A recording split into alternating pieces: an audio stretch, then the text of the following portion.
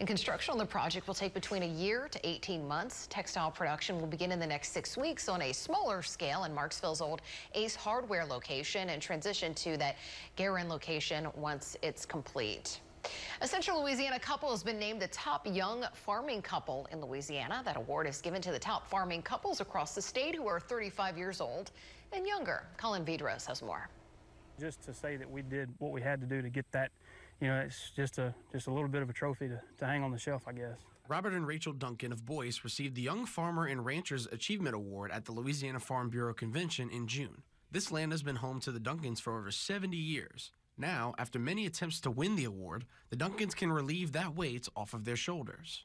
You know, we don't have to worry about, you know, trying to keep up with it all and do it all again next year, but, you know, at the same time, it's just a little bit of pride and, and, and just to say we've, we accomplished it and we did it and we worked at it and and we finally finally got it. While Robert and Rachel run the farm, the Duncan children also help out in the process and play a part in feeding the cattle. Every afternoon when, when I get home, they ask me if I've already fed, and if they're coming, you know, a lot of days I'll go pick them up and bring them back, and we'll feed in the afternoons. And, and so when they when they don't get to feed, they kind of get mad at me. So they, they like coming and seeing the cows and, and feeding and helping.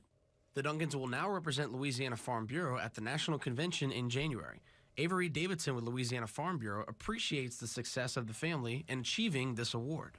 They're really good farmers. Uh, they grow soybeans on their farm there in Boyce. They also raise cattle. They have three girls who are young and learning how to, to deal with everything on the farm as well. Uh, Rachel on the side also has a flower business, and that sort of came about because of their involvement in the Young Farmers and Ranchers program. Davidson said with the help of the Ranchers program, Rachel's flower business took off. So much so that it was making more money off flower sales than the soybeans were. Her little quarter acre of flowers made more money than eight acres of soybeans. It was very significant how much money the cut flowers made as compared to, to what they made off the with the Duncans' leadership, Davidson and Louisiana Farm Bureau honor their success through this award and are excited to see their leadership grow. Bringing about new leaders, new people who are taking the lead to be involved in agriculture is very important. And this is one of the ways that we show our appreciation for not just the work they do on the farm, but the work they do in Farm Bureau to advocate for agriculture.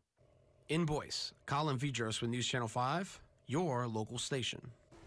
Robert and Rachel will represent the Louisiana Farm Bureau when they compete at the American Farm Bureau Federation annual convention in January in Salt Lake City.